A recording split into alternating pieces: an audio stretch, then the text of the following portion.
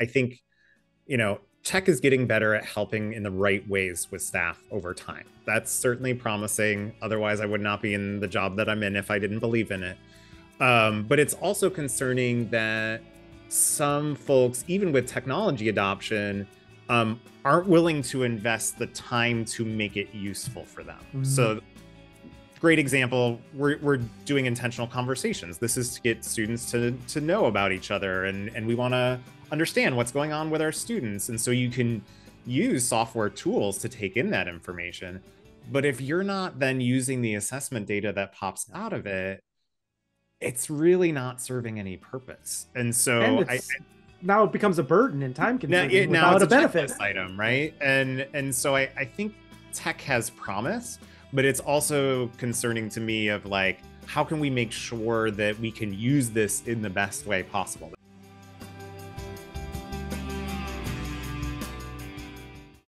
Hello, and welcome to Student Affairs Now. I'm your host, Keith Edwards.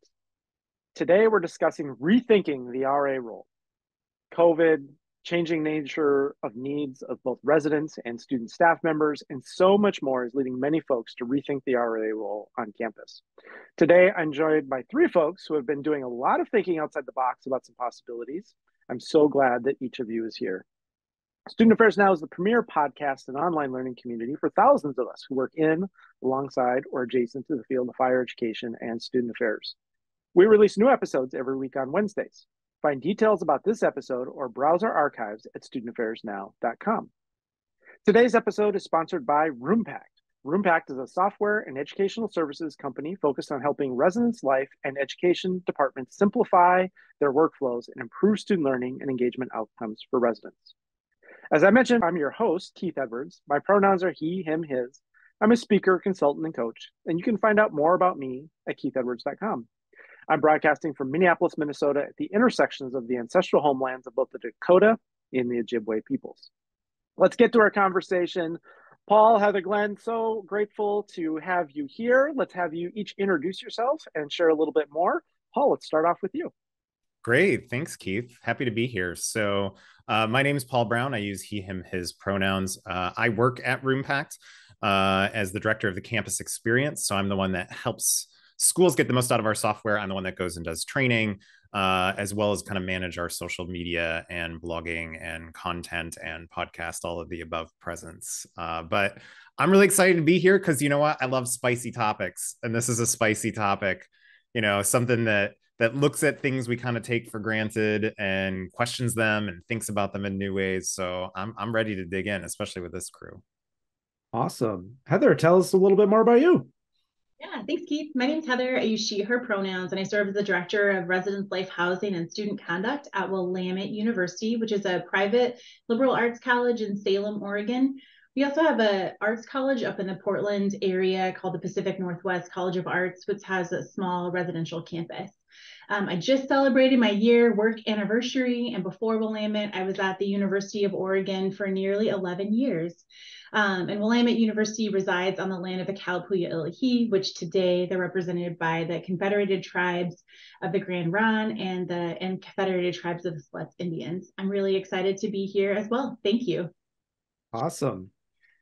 And Glenn, for anyone who doesn't know you from the podcast, tell us a little bit more about you.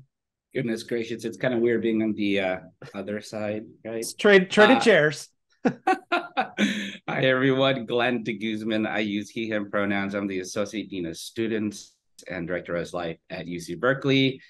I'm coming to you all from Livermore, California, which is the ancestral home and still present day home of the Ohlone Muwekma, the Chochenyo speaking people. And uh, um, a little bit about myself. Uh, I mean, aside from just running residential life, I've been in the field for now 30 years, closing in on that. So I feel just don't, don't let this boyish, young looking face fool you. I am an, an, old dude. So happy yeah. to be here. Awesome. Well, I'm so glad to ideate and innovate and brainstorm and throw out some some strange ideas. Uh, but maybe we'll begin uh, with how this kind of came together. And I'll just say uh, we were thinking about this uh, as a podcast host team and seeing some of the blog posts that RoomPact was doing with different folks chiming in around this.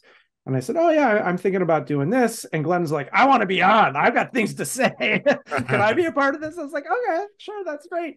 Uh, reached out to Paul, who's doing some work with Heather on this. And so, uh, so glad to have all of you here. But, Paul, maybe you can tell us um, maybe how that came to be with sort of RoomPact and the blog and some other things and kind of frame things a little bit for us.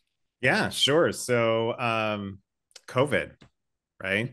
I think this is really due to COVID. I mean, when we think about the RA role and rethinking it, it it's needed to happen for a long time, but COVID was really that inflection point that made people go, "Whoa, this isn't this isn't working." And it's, you know, most famously it was George Washington University back in 2001 that said, "Okay, we're going to upend this whole model, shift around roles."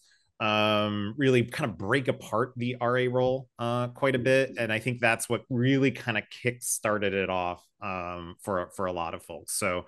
Um, there are other institutions that that have kind of experimented this. Arkansas Tech, there's a uh, on RoomPact's own podcast, Res Ed Chat, we chatted with uh, Luke and Delton there at Arkansas Tech. They did something very similar to George Washington uh, in terms of breaking up their role and it's just continued to get a lot of energy. If you go to conferences, you know, I went to the first in person at ACUHO-I post start of the pandemic and packed house rooms, like overflowing into the hallway. That there is just so much energy around this um, that you know I've been like, let's let's go with this. Let's see where it goes. And so we did a, a, blog series on on the RoomPact blog where different voices from across the field talked about here's what I think or here's my take on the future of the RA mm-hmm. role and then kind of as you mentioned, you know, Heather, myself, and a few others are presenting at ACUHO-I upcoming this summer, uh, where we're doing from the RAs themselves. So we interviewed RAs. What do you think the future of the role? What's working? Mm-hmm. What's not? And um, there's just a lot of energy. Uh, not as many people doing the the work and the experiment with it yet, but I think right. exploring the topic and being what's going on here. So I think that's kind of where we we kind of enter into the conversation. Yeah, I think that's a really great caveat because I think uh, you know we had some folks who we invited who said, you know, I I think about this a lot. I've got a lot of ideas, but we're not ready to do that, and I don't want to get ahead of where my campus is, and so, um, so but Glenn couldn't wait to get in yeah. here and talk about this. Why? Tell us, Glenn. Where's the well, uh, no? I think that that's that's an interesting thing because I think that you know I went to an ACPA conference. My last ACPA conference, believe it or not, was in 2016. So bad, Glenn. Um, but when I went to that conference, we I went to a uh, workshop on just mental health and just looking at trends, and they were already identifying trends. And I and and I think that there was a when I when I think about where I work at UC Berkeley, I was already starting to see a little bit of that as early as like 2017, but I wasn't sure how to put you know I mean it's it was still kind of like emerging, and so it was really difficult to just to name at the time. We had conduct data, which was pretty consistent, but what we were seeing at, at Berkeley was uh, starting to see an increase in students of concern, meaning students were coming in and uh, we're starting to identify some mental health concerns and issues. I had an interesting conversation with our, we were fortunate to have a psychologist at UC Berkeley who works very closely with our Res Life, and, and they primarily work with our residential students. But he pulled me aside because we, you know, we meet regularly, and he's like, Glenn, I'm starting to see more and more of your RA staff mm-hmm. and more and more of your resident director staff. And that was sort of like the beginning of starting to piece together, hmm, what's going on here? And so we began, I began investigating. I was able to connect with Washington State University. They're doing the stress anxiety survey. We were fortunate because Dr. Jason Lynch, who does a lot of research on staff wellness, worked at UC Berkeley.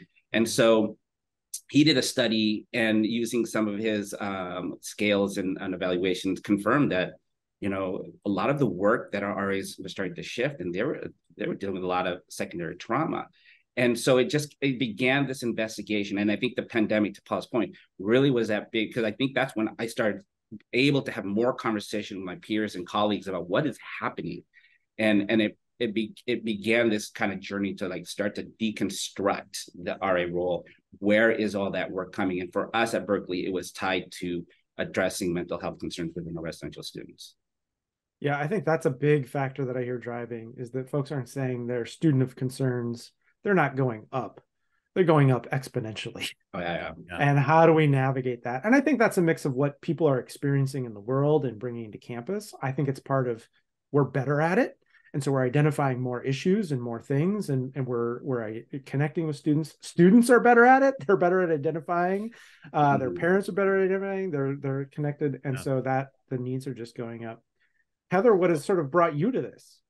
Yeah i mean in addition to the changing current student culture i just i keep thinking about um, opportunities to align for, for a curricular approach to drive the structure of, of what the mm-hmm. resident advisor role could be and so part of I worked with a brilliant person, a wonderful human named miles Marrow, who was at the University of Oregon. So post pandemic um, COVID, um, with underneath his leadership, he created a structure to really drive home our learning goals that were related to resident advisor position. So, really elevating our returning student leader position and aligning those within our learning goals and tying their work to a positional person that would help drive the structure. So, they would be, they would have like a cohort of, um, of just consistency with some of the initiatives that they were doing. And so I just keep thinking about how does the curricular approach drive the structure as well as conversation, learning with peers. I've realized it is you know every institution has their own different student culture so what i experienced at my last institution i couldn't ever replicate here at willamette because our students are very very different and so um, in addition to everything that's been said there's also a recent article that came out from ACUHO um, it's called changing traditions. The ra role is undergoing major changes as, as members shape it to the needs of their campuses. So it highlights a lot of the work that has happened with george washington arkansas tech and some other institutions. Um, and something just to highlight one of them, Texas Christian University talks about really revamping their RA role um, to have residents feel like their RAs are friends. And so that was kind of like mm-hmm. their goal of wanting to for their RAs, for their residents to see their their RAs as friends. So they use this concept of knowing, connecting, and empowering of how they train resident advisors. And so I get excited when I think about different institutions being able to hone in on what's special about their institution and how do you create these positions that are more helpful to att- obtaining what you would want people to do so a lot of connections conversations with peers um, is how i enter this conversation mm-hmm. well that's how kind of how we all got instigated into this uh, let's dive in a little bit more about some of the details uh, and then some of the possibilities uh, Glenn, what what are you what are you seeing out there, and what are you starting to really what's really driving this? What's driving it for me is, um, you know, I think that as a student first professional, um, you know, we we I like to believe that as a profession, we we really pay attention to the well being of our staff, uh, of the people that we work with, and it's it was easy.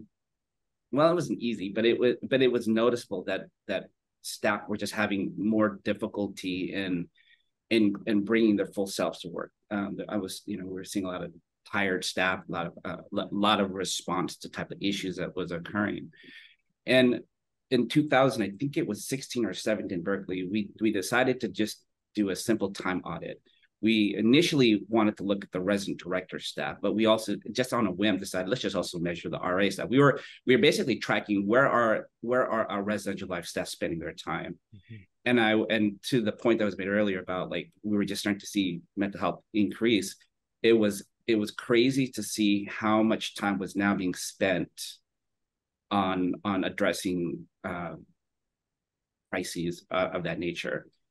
Um, and and when we look at what the traditional RA role is, the math wasn't adding up anymore in terms of the number of hours that we have allocated to RAs to do the work. It just didn't add up. If you think about the time it takes to do programming, building trust, building community, they got duty, they got conduct, all that, you know, we have a good idea of how many hours it takes to do that work. But what we didn't anticipate was the time it takes to address mental health crises, roommate conflicts, people coming in with with just different types of challenges. And then to top it off, we're asking resident assistants, we're asking students to then recover from stuff like that. This is not their primary job. They're students first. So the recovery that's needed, um, you know, it, it was something like how do we address helping students recover when they've had a long night when they've had to deal with certain types of issues they've never had to deal before. And then you also have the resident director staff who are also trying to support them. So we were starting to see like we need to really look at what type of train uh, with the training was starting to we were we felt like the solution was add more training mm-hmm. all that did was just means that they became better aware of how to identify stuff that was happening and then we started to realize wow we really have a chat we have an issue here because it's not the the the students um, that we are supporting and uh, are having issues and we're picking up these uh, the concerns they're having but we didn't have the bandwidth anymore and so it really started thinking like, are we doing this right? Are should we be relying on our resident assistants to be addressing a lot of this stuff now? Because it, it didn't feel like it didn't feel right anymore. Well, when we add training, we often add it to the August training or whenever your pre-arrival mm-hmm. is. And then now you're at 10 days or, or two weeks or more, which then means there's fewer students who can be in the role because they have summer jobs or other commitments or other things. Mm-hmm, mm-hmm. You start to, um, I've seen lots of schools when they add to training, um, the the diversity of their staff. Oh yeah. Well, I mean, uh, I let, me give you an example. Um, first aid mental health, yep. right? That's a newer type of training that we introduced, and just providing that knowledge to staff, they are starting to identify stuff that like yeah. maybe historically we just it's just a miss. Now it's like okay, now you just have more and more and more volume, and and it's reflecting in the data we're collecting. Like we're just seeing numbers go up. Heather, what are some of the possibilities that you're seeing? Yeah, I mean, to echo what Glenn has shared, I mean, the student culture it's it's changing, and so I I think often about student leaders, student employees. How are they? How are we equipping them to do appropriate tasks as students? And so, as I'm learning more at Willamette, it's a it's a fun time to be at Willamette to start here. We have this brand new strategic plan. We have the divisional of curricular approach that is launching, and we're working on that for this upcoming fall. So, I think a lot about how these the strategic plan, the curricular approach, how that is going to tie into the resident advisor role. And it's one reason why I haven't even touched the RA role. A little bit modifications I'll share about that, uh, but why I haven't like really revamped it for for the most part this first year because there were other priorities that we I really wanted to spend time on that were essential to our residence hall program that we were we were initiating. But you know I think about equipping RAs to do work that is appropriate for their roles. Um, we did a time audit this past year we just asked RAs three times during the semester, what, how are you spending your time? And from that, we've been able to understand a little bit more about how they're engaging with residents, to understand a little bit more about what our residents are needing from a resident advisor role from that position. So it's been interesting to try to think a little bit more about how our student leaders are engaging with residents. Um, I do think that at the at the end goal at Willamette, we will most likely have some specialized positions for resident assistants and resident advisors, um, and that could initially be a cost saving initiative. So I also think that when budgets are strained at some institutions, like being able to revamp and, and do that could be a cost saving initiatives, which has been what other uh, what what other people have shared that has been a, a byproduct, not necessarily that saving money was something that they wanted to do, but it was a byproduct of after the yeah. structure that they built, mm-hmm. they saved money. And so I think I think about those things too. Yeah, that's one of the things I'm hearing folks talk about is uh, it used to be build build community on the floor and then do programming and now do duty and we need you to do some desk hours and now we want you to also do student learning and intentional we just keep adding to this role and um, it's a lot which you both pointed to but also people aren't good at all of those things. And so people who would be good at some things are saying well i don't want to do the role because i don't want to do that part of it. And be, by being able to break apart the role some people really want to do like the customer service desk and checking things and others are really interested in duty and being of service and after hours and conduct and really engaging that and others are really so by breaking it apart it's a bit more manageable and you can find people like who are really connected energized have skills around this without having to be you have to do these 13 different roles well. It's hard to find people who are good at that and hard to find people who want to do that. What do you what's what's driving this for you paul? Yeah. Well in comments to what you just said as a case study of one who was an ra I can mention many things I was not good at in that RA role. Bulletin boards, top of the list. Top of top yeah. of my list too. So um I'm gonna throw a little bit of a different one in here. I think there's seeds of it in kind of what, what Glenn was saying, but um, you know, one thing that's been really great for my kind of career trajectory is I work adjacent to higher ed right now, mm-hmm. right? So I had I had enculturated, I had gone straight through, did my master's, did that very traditional path, worked in higher ed my whole life, and then plopped into a very young company that was only two years two years old when I started with people that were 10 years my junior. and the the work was different. Mm-hmm. Meaning in in higher ed, everything is email. Everything is centered usually around Microsoft Office, or that's mm-hmm. less so now and there's certain work norms that are just expected in higher ed. And then i come into this young company where the way of working is different i would say more modern um, mm-hmm. which is probably more likely what our students will find when they go and work uh, in the workforce. It's not going to look like higher ed uh, in terms of the way that we do job do our job. And it gave me appreciation for how the world of work has changed. And what our students are going to expect and what they're going to do is different. Um, and there's different ways of doing it. Remote work you know can we think differently about the way things are structured? And uh, um, one of the things that i've seen with a lot of schools that have gone down this path is that they realized oh we need to make these positions more flexible. Like you kind of said keith with you know making students come back for two solid weeks of training in august is going to cut out a whole bunch of folk. Yeah.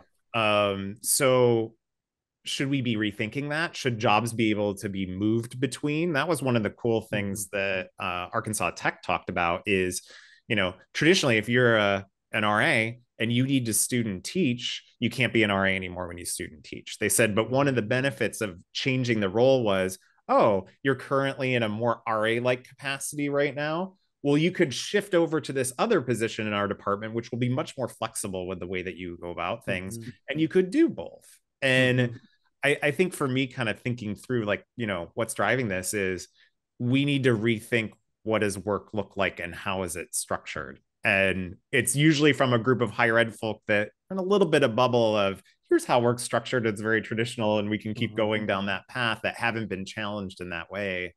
And I know for me, when I stepped outside of the institutions and started working for a company, I was like, whoa, yeah. okay, I have a better appreciation for it now than I did. And I think I appreciate looking at the RA role of like, it doesn't have to look in that traditional mold. There might be ways that we could do. I mean, heck, at this rate, we're going to have Chat GPT could just counsel our students for us. We wouldn't need to do anything, right? What could go wrong there? What could uh, go wrong? What possibly could go wrong? One of the things I uh, and I, you know, Paul, you and I work with lots of different schools, right? Rather than having a deep institutional, so we hear lots of different stories. One of the things that I talk about with the curricular approach is you have to rethink everything.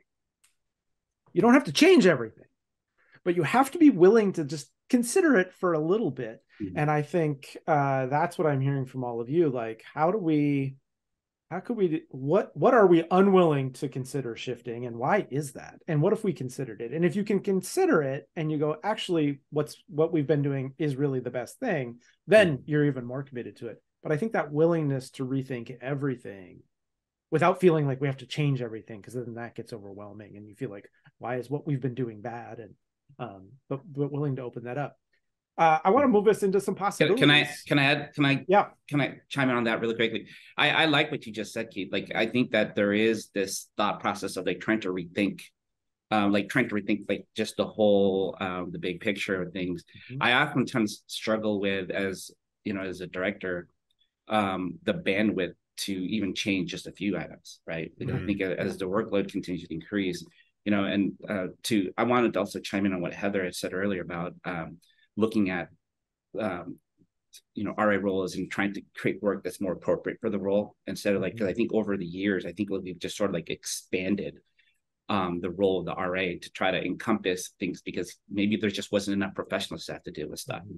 right? And and and what would happen if you were to just really get the the RAs to uh, to cut out some of that stuff and really just focus and center in on what maybe some of the the the co-curricular approach right? Like just focusing on one mm-hmm. aspect of that so they can so they can be a student first and then also be a support mechanism for the the students uh, in a in a in a um, balanced way. So I, I, think that there's some interesting talking about like I'm sure it's I'm, I'm given the questions we're going to be exploring, mm-hmm. um, I'm sure I can talk more about that as well. But I just wanted to comment on those two things. I, I agree with what was shared. Yeah.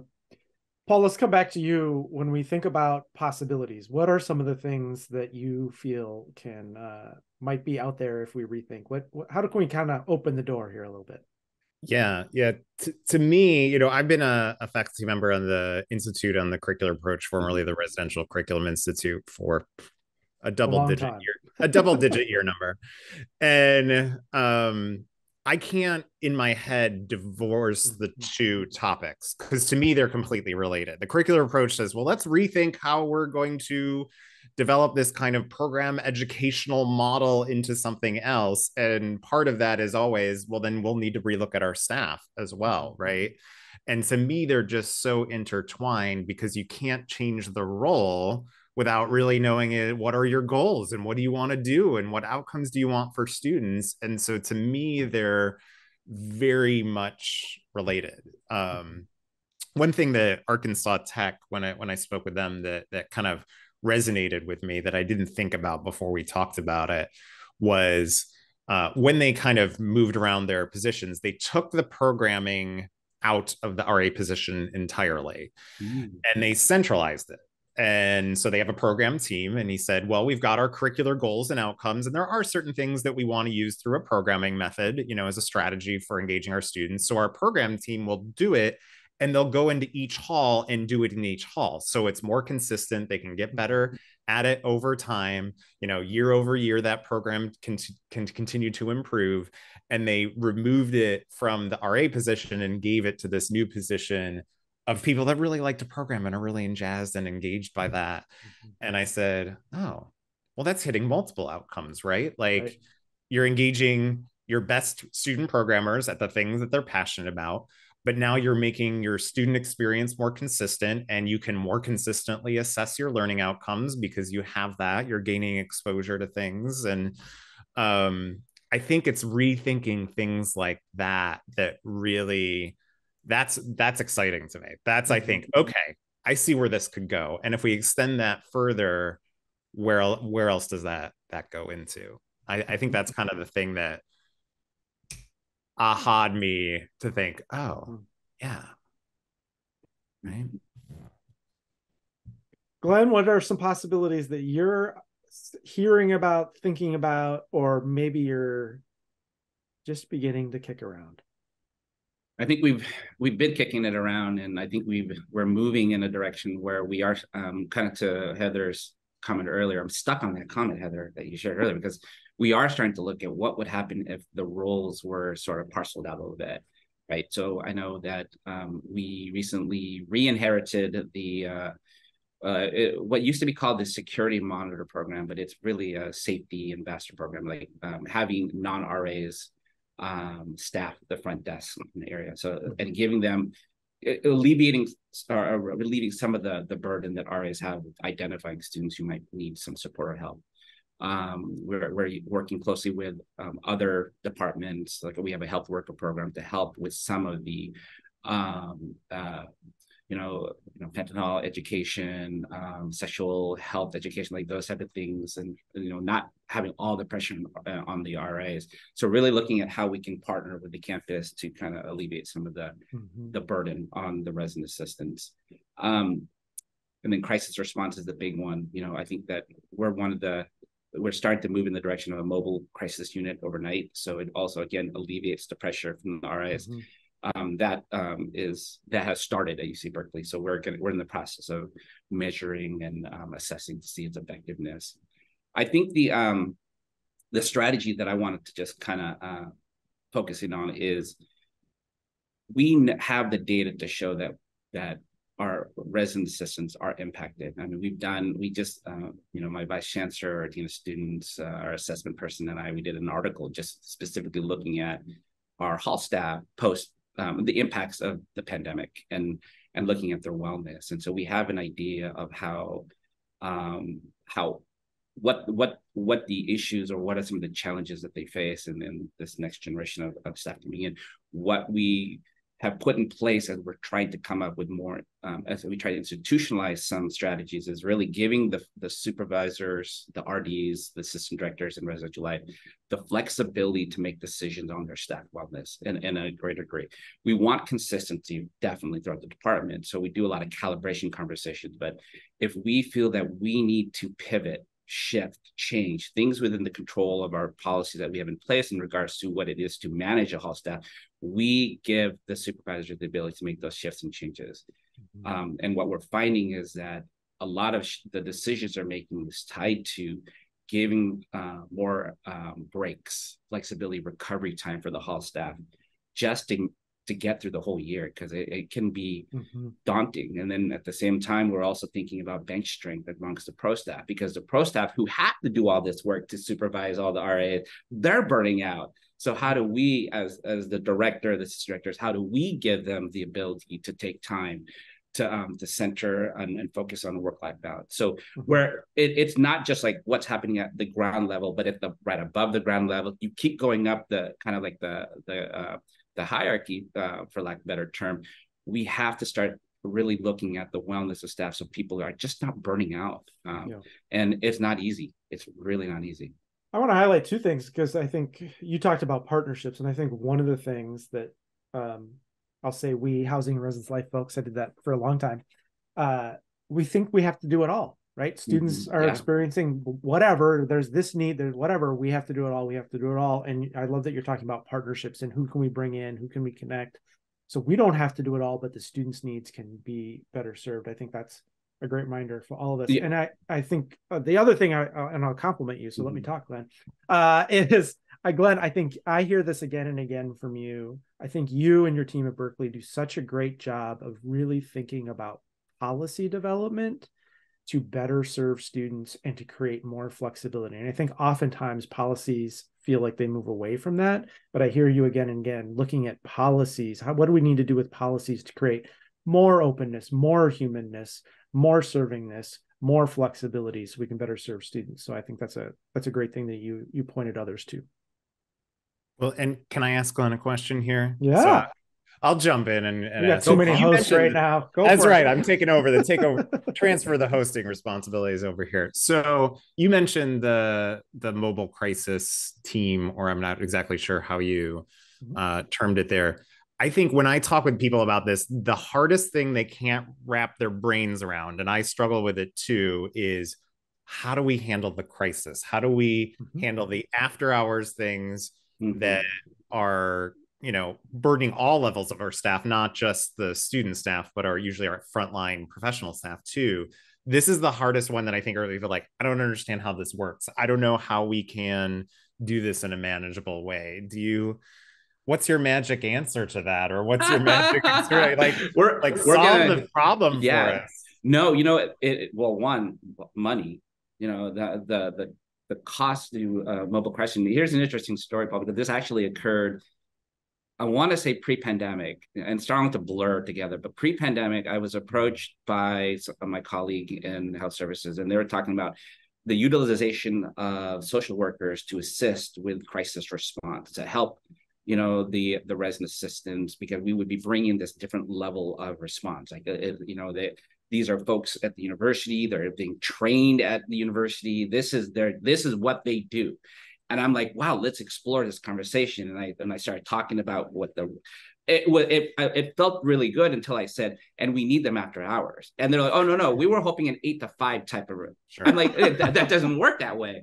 Yeah. So th- that kind of killed that conversation because they're students too, but they want to do it within the workday. So how do the university solution for you know for years now has been like let's use our hall staff because the hall staff are the folks who are there 24 hours a day, but but the preparation, the training that's needed isn't there. So this mobile crisis unit that emerged is really interesting because it is dedicated after our staff. Um, and they and I think what we're learning right now is how does that dedicated after our staff work with our hall staff who are still going to be present, who understand the vibe, the energy, the culture of the community that the this group is coming in. And yeah, there are things that we're still trying to address because they you know they they are learning what it means to come into a student environment into a residential community and i think that's still you know, I think that's one of the things that we're paying attention. Some of the things that kind of already has been elevated, and it's not like like oh my god it's it's a complete failure. But what it means is we have to go back and do that whole research cycles and what did we learn? Mm. what are the things that we can do to re-educate to to get everyone on the same page? Uh, how do we work better together? And it's not just the mobile crisis unit and the hall staff you have ucpd we have uh, sorry police department we have a fire department we have um, you know, depending on who responds, um, the, the level of support will vary because sometimes it's a new RA and the RA maybe not be as comfortable versus a, a, more senior RA or a resident director. So it there's a lot of variables that plays in, and these are the things that we're trying to measure and track. But it is a lot, and oh, so yeah. we're gonna have to pick one or two things and focus in on for the next iteration when we get around to it. So this is and a I, really year for us. I think the iteration is so important. I think so many times people feel like we have to figure out the perfect solution and then yeah. implement it. Whereas you're saying, well, let's try something, let's figure it out, what worked, what didn't work. Okay, we got to adjust here, adjust here, and sort of build something over time. Heather, what are some of the possibilities that you're seeing? Yeah, I mean, I don't want to share all my secrets, but um oh, Please, you're holding tell back. It, tell it, tell you're it. holding back. You know, you know the answer already. So here we go. um so appreciative inquiry is a is a process yeah. that helps facilitating change. And when I was at UO, Lori Lander, who was the director of Res Life and academic initiatives, did this. And as a participant, I always loved the process because it helped participants think about what is like what, what are the possibilities? So it takes people through this discovery dream design destiny phase. And so i actually replicated some of that and adapted that to my organization in the fall semester. And from that we created our new mission vision values but then also we came up with four projects that we wanted to work on. And so i think appreciative inquiry side note is a tool that can be utilized for people who are looking to revamp the ra role in some ways to help create buy-in um, at all levels of an organization. But from these uh, from this process along with mission vision values revamp we aligned four initiatives that we wanted to do. And one of them was a resident advisor role. And it was really important for me to get that right as right as one could. So we mm-hmm. started first with um, living learning communities, theme communities, as well as um, sophomore experience transfer students. And I had us all this spring semester do research and benchmarking projects. So I invited everyone from the division to come alongside and do research and benchmark.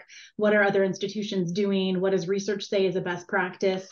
and create some different strategies for our res life housing department so we presented that anyone from the division was allowed to come give feedback and we um, incorporated that feedback for our final kind of process so this upcoming year we're doing some of our initiatives within that and so now that we have the structure kind of set for these research and benchmarking projects i also worked with the library and they created us a website for us to easy easily have a landing page to teach people how to do research if they weren't necessarily doing that on a regular basis. So mm-hmm. I get excited because the second year that I'm here, we're going to be doing this um, with the resident advisor role. So I keep thinking about um, creating buy-in and doing that as a new employee. Um, and then in addition, you know, I I brought in the dean of admissions this last fall and I, I said what are students saying? Like what are our incoming students saying? And part of the review that admissions do is a holistic review of our students.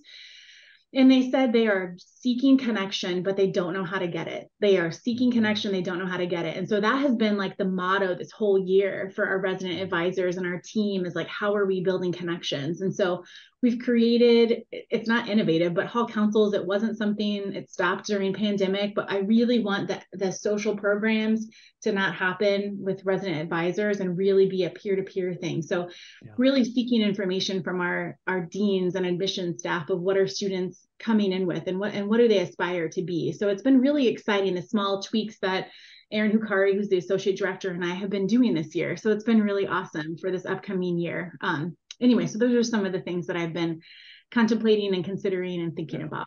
I think that's great. We it makes me think we should do a whole episode just on appreciative inquiry because I think that this is really fabulous and widely applicable. And I love that you're getting admissions to inform what you're doing. I would encourage us to talk to admissions about what housing residence life folks are doing because often the stories they're telling are really outdated.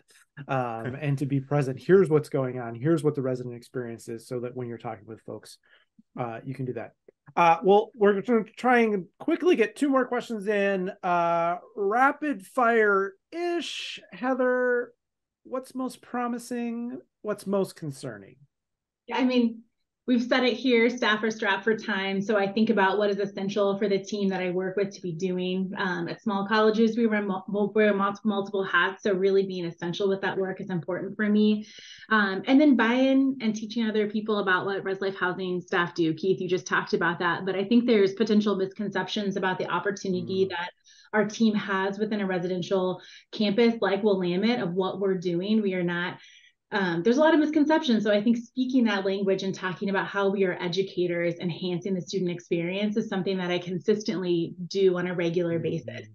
Mm-hmm. Um, and I'm really excited about continuing collaborations and working in a residential campus when we have a two-year live on a requirement. The possibilities are endless, but time is not endless. And so really being able to think about those initiatives are, are important to me time and money is the crunch right? Isn't um, it always? Mm-hmm. yeah. Mm-hmm. paul what, what about you? What's what do you find really promising and are, are there things that you're hear people rethinking that's concerning?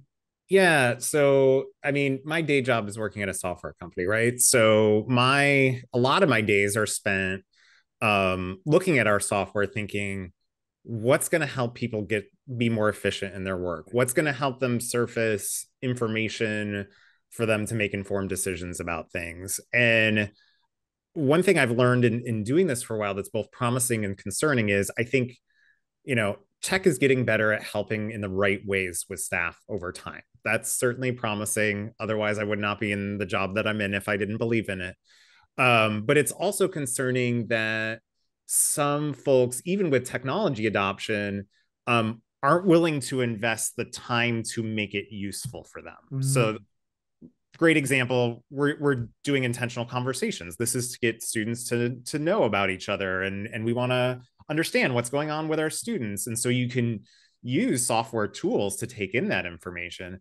But if you're not then using the assessment data that pops out of it it's really not serving any purpose. And so and I, now it becomes a burden and time consuming now, now it's a, a benefit. item right? And and so I, I think tech has promise but it's also concerning to me of like how can we make sure that we can use this in the best way possible? That's literally my job description is mm-hmm. to to try to help people do that. And so I, I think about that all the time but i think it's part of the solution to this what's the future of the ra role and how do we make work life balance better for staff and manage that? I think i think tech has a role to play in that um as well and the right short of again chat gpt be taking yeah. over our roles and you know well but I, I, think that's a real danger right? The right tools can really help you but then i also see people just adding tools and tools and we bought this and we bought this and we yeah. bought this and we bought this and now it's like we don't know how to run any of it. We don't know how to utilize it so what are the right tools that can really help us either with efficiency or improve their quality? Yeah. And use use humans to make that the best that it can be right? Yeah. um I think that never that never disappears from the equation. Yeah. Glenn promises promising things concerning you know, things. I, I just listened to just the banter between you and Paul, and uh, um, I can tell you, and this is not tied to the fact that Paul is here, but there is this gentleman who rolls around the country um, with this thing called RoomPact. Um, and we have been uh, using RoomPact now for a number of years. And um, what you all just kind of summarized, like the utilization of technology tools to aid professional staff. Uh, I think it's it's it's it's necessary, um, and if those tools are able to help build metrics and measures and and and, and assessment, um, I think that the data that's collected can help tell a story. Um, because I think in my role, and I think that this is the, this is this is what is needed um, across this our country when it comes to um, making sure the resources are available for residential life, we have to convince leadership. Um, the next generation is changing, and um, I think that a lot of the decision makers they might have this image of what residential life was, but that's from like 20 to 30 years ago. It's mm-hmm. no longer viable. Um, mm-hmm. Disruptive shifts are needed, but you need the data to tell that story to demonstrate that if this is our mission, this is what the campus needs are. This is what our strategic plan is. This is the data that's telling us we are effective or not effective. And as we make these shifts, we cannot bury our RAs in this process mm-hmm. because while we're trying to figure our, I won't swear, while we try to figure our stuff out, we need to make sure that we are paying attention to the RAs because they're students first. Thanks, Glenn. We don't have to mark explicit on the podcast, so thank you for that. Uh, sometimes we do, and that's great too. Um, we are running out of time. Uh, this podcast is called Student Affairs Now. We always like to end by asking our guests, what are you thinking, troubling, or pondering now? It might be related to this conversation or other things that are just really present with you. What are you pondering now? And If you want to share with folks how they can connect with you, that's great too. Uh, Glenn, what are you troubling now? Uh, not troubling me, but actually pondering. I really like what Heather said about admissions. Um, mm-hmm. it's making me rethink that I don't have a deep um, connection with our mission, but I I've sit in the same room with them and I'm seeing the the who's coming in, um, and I need to better partner with them. So the, that literally is like writing. I wrote it down like to do, you know, missions. Awesome. Watch out, I'm coming. All right, Paul. How about you? Uh, I mentioned ChatGPT twice in this podcast, so mm-hmm. I'm gonna mention it a third time. Um, I've been experimenting with it. I've been asking it residence life related questions. We've been putting out posts on the blog every Friday of random questions that I've been asking ChatGPT. And it's really, I've learned a lot in terms of what it can do well and what mm-hmm. it can't do well. And the brief preview is, you know, if you want it to write a poem to mm-hmm. residence hall leaders at the start of the academic year, it actually does a pretty good job. So you'll see that coming out in a little bit. But oddly, um, I said, write a write a script for a series of intentional conversations at six points in the year over the course of a student's first year in the residence halls. And it was eerily good. So like like eerily good that with like a little polishing like you'd be like i would have assumed a human came up with this. So my thing is experimenting with that and seeing what it's there's some things it's not good at but um there are some things where it is good and it's fascinating. So I'd encourage people if you haven't just played around with it, throw it random questions, see what it comes up with. It's really, it's really fascinating. I think. Awesome. And Heather, what what's with you now? Yeah, I, I think a lot about staff retention working at a smaller campus. When people leave, it you feel it more. Mm. um, and so staff retention and also just creating a culture where people feel valued and cared for and meaning in their work is something really important for me. Um, yeah, and if you want to connect with me if you look me up you'll see a music a musician. I am her first cousin by marriage. Um, but heather Kropf, mm. Willamette, and i'm happy to be connected over instagram or email. Awesome. Awesome. Well thanks to all three of you. This has been terrific. I really appreciate your ideating and your willingness to share some thoughts that maybe aren't fully actualized we're not here sharing. Our massive success stories, but really innovating and ideating. I think it's you've given folks a lot of things to think about. So so thanks to all three of you for being here today. And thanks to our sponsor of today's episode, RoomPact, which got several shout outs today. Uh, started as and remains a family owned business with a mission to help residents' life and education professionals and the residents they serve. This includes helping staff be more efficient with administrative processes and providing them with access to real time assessment and engagement data for insights into residents' educational journeys. From curriculum to program and community development models, RoomPact does it all. RoomPact is committed to its values as a certified B Corp that does right by the planet, its employees, and the campus it serves, and the field of residence life and student housing as a whole. Also, a shout out, as always, to our producer, Nat Ambrosi, who does all the behind the scenes work to make us look and sound good. Uh, we love the support uh, for these important conversations from our community. You can help us reach even more folks by subscribing to the podcast uh, on Apple, on YouTube, uh, wherever you get your podcasts, and signing up for our weekly newsletter announcing each new episode and more. If you're so inclined, you can also leave us a five star review. We'd love that. I'm Keith Edwards. Thanks again to the fabulous guests today and to everyone who's watching and listening. Make it a great week, all.